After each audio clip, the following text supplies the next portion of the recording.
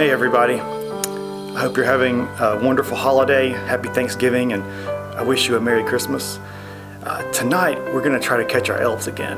It's a few days after Thanksgiving and they've been here for a few days and I haven't been able to catch them. I've set the camera up but I haven't had any luck catching them. But we're going to try tonight. Uh, one of the things I've been interested in is to know how they get into the house because we don't have a chimney and that's the most logical place since Santa Claus comes through a chimney or you would think the elves would come through a chimney too. But we don't have a chimney, so I'm guessing that they probably come in through the front door. So I'm gonna set the camera up and see if we can catch our elves maybe coming in through the front door. The boys are asleep. Um, I'm gonna set the camera up and then I'm gonna go to bed because we all know that the elves don't come when anyone's awake. So give me just a second, I'm gonna set the camera up, adjust the setting, I'm gonna leave some lights on, make sure the camera's set so that it can see kind of well in the dark, and let's see if we can catch some elves. All right, here we go.